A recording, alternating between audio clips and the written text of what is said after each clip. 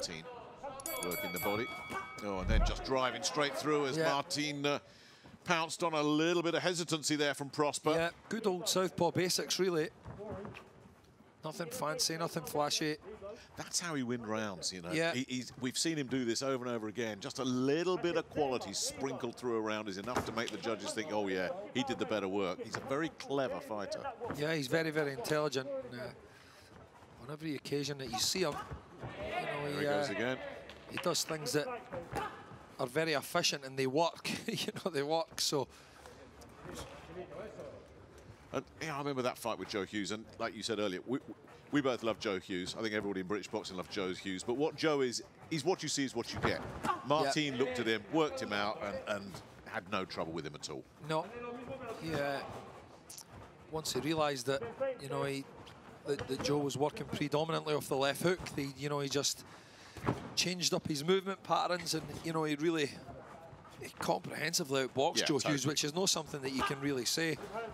Um, you've seen before, you know, Joe Hughes is he finds a way to make life very He difficult make, for he anyone he's make life with. hot for you, but he didn't make anything hot for this fella. And I tell you what, Kay Prosper's not making anything hot for him here in this second round either.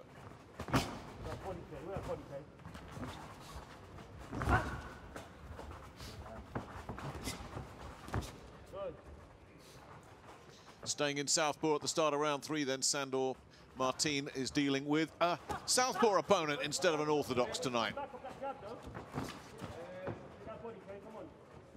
can Kay Prosper be effective out of that Southpaw stance? He just looks hesitant, like uncertain, not quite sure what he's trying to do now. Xavier Miller, you heard him there in, in, in the in the corner, said you switched off in that round, but I think he just caught himself in two minds too often. Bearing in mind Yeah. that he is just stepping up levels here, Martin. He won't be. He hasn't been in with an opponent of this technical ability. Oh, he's hello, hot. Yeah. hello. In the southpaw stance, he Yeah. walked into a right hook there, Yeah. Nick, you know? Walked right into that right hook. Well, shaken up. And will Martin go for the finish here? It's a body shot as Prosper looks to just dig in. Yeah, nice left Fighting uppercut. back. And, and have you noticed he switched straight He back to switched back, orthodox? yeah.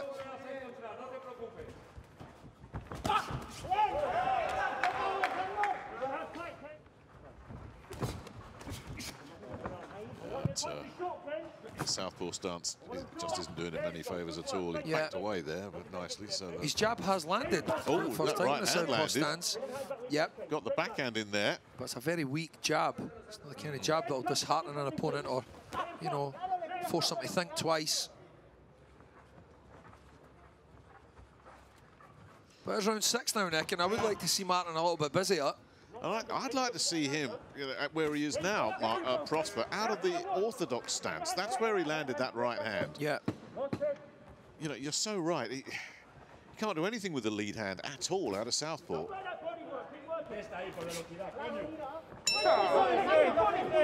I mean, it's only round eight, Nick. You know, we might still see that.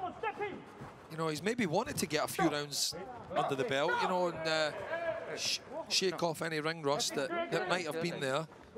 When was his last bout? No punch. Oh. Stop. No punch. Okay. December.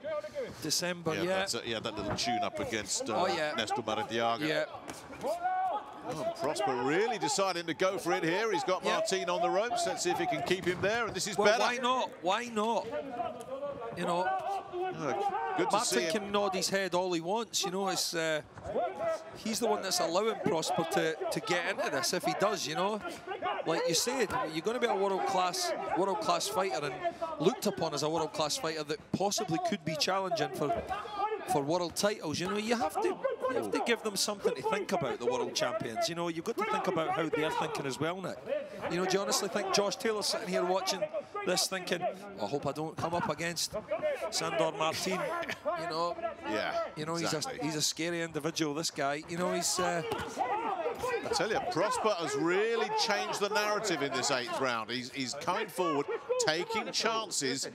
And what did you say ages ago? he's Oh, taking a point, man. Wow.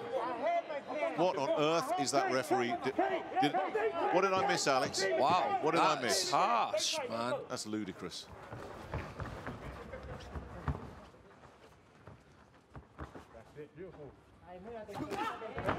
Oh, caught him again. He just committed. And this is now we're starting to see what Sandor Martin is capable of. Got to be careful here. But he's in a really tricky place here, isn't he? Just carried it by his own momentum into the ropes there. I thought the referee was going to Yeah, give a count for a give him a moment there. Like, oh, oh, you touchdown. I'll give you standing eight. No, that would have been ridiculous. Right hand, hand, Kane. Right hand. Gonna jump in, When he jumps in, get him hands up. Good work, Kane. Good work. There's so many aspects to, you know, to boxing against a good southpaw, Nick. You know, it's... Uh, oh, come on. it was on the waistband. That's ridiculous. Sorry. No more. No more. Yeah, we'll have no more of you if you don't mind. It was on the waistband. Yeah, that, that wasn't even low. Yeah. Martin didn't even complain that he... Uh, Again, Kane.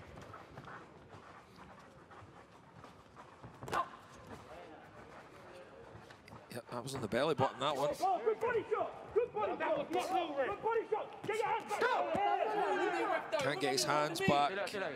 Corner. He's... Oh, really? Oh, that's... just- Yeah, Sorry, this is a joke. Kane, Kane. Stay switched on. He's on. Hands high. really, really tough night's work. I've got to be honest, it's played out exactly the way you thought it probably would. Yeah, yeah. Uh, and I think there's and there's positives to come out Oh of no, this. there for is. Prosper. Uh, but I did think that Mar Martin would have been a little bit more clinical. I thought his shot selection would have been a little bit better, Nick. I honestly did. I thought his shot selection would have been a little bit better tonight.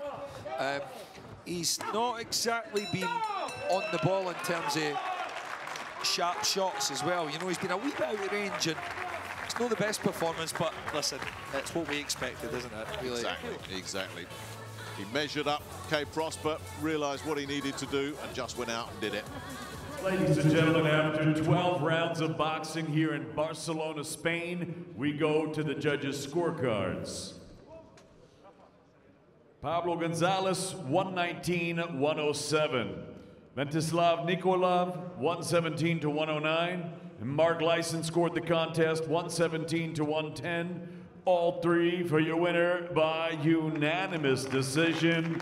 And still the European super lightweight champion, Sandor Arasando Martin. Well, that was no surprise, was it? Sandor Martin comfortably won that. Yeah.